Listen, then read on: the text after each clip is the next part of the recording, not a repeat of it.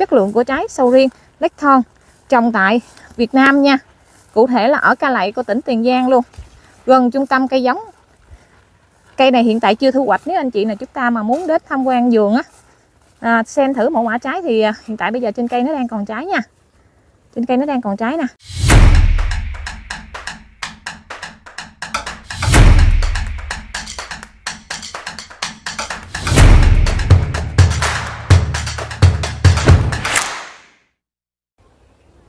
Sầu riêng và lách thon có rễ ra hoa đậu trái hay không? Hiện tại Ly đang đứng cạnh cây sầu riêng lách thon đi 200 nè.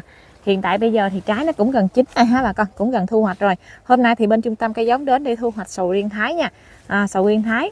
Vườn này vườn của ông anh nhà Ly nha bà con. Đây là trái à, sầu riêng lách thon nè. Mẫu mã trái rất là đẹp. Mùa vụ bói đầu tiên luôn.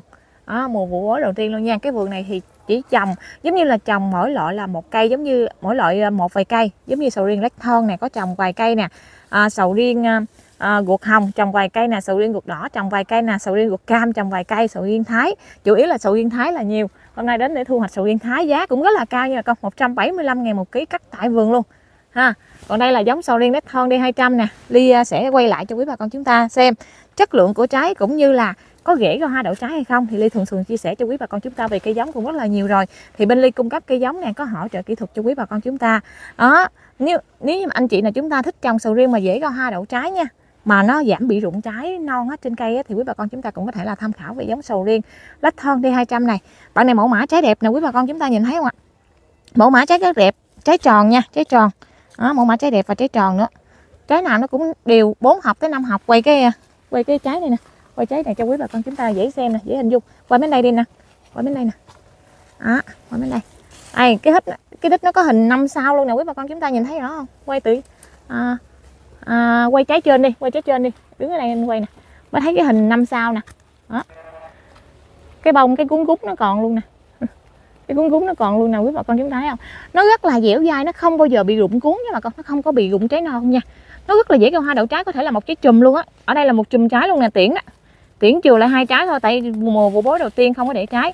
Nhưng mà cái cây của anh lúc ban đầu anh trồng á, là nó sẽ ve qua mé của người ta nhiều quá.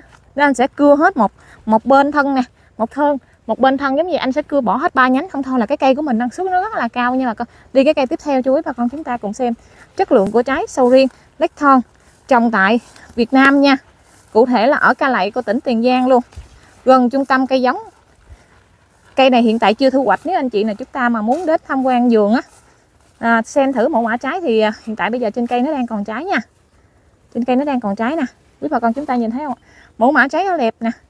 Một dạ này là được à, ba trái bên đây nữa nè. Cây này điếm hết luôn là vài chục trái nha vài chục trái trên một cây. Trái rất là no tròn. Trọng lượng của trái thì nó trung bình thôi nó không quá to. Trọng lượng trái thì tầm khoảng một kg rưỡi đến hai kg rưỡi thậm chí là 3 kg thôi chứ không quá to nhưng mà nó tròn um, sầu riêng lít thon đi 200 này trong ruột nó sẽ màu cam còn thêm một cái tên nữa là sầu riêng gai đen nha. Con mã định danh của bạn này là đi 200 ha.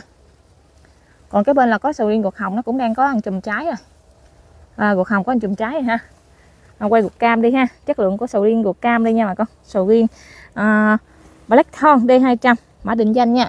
Cô chú anh chị nào chúng ta quan tâm cần liên hệ mua giống thì cứ việc gọi vào hai số điện thoại hiện trên màn hình. Thì anh chị hỏi là quan tâm về sầu riêng nào dễ ra hoa đậu trái thì Ly chia sẻ cho quý bà con chúng ta là sầu riêng. Black D200 nha. Rồi, xin chào và hẹn gặp lại.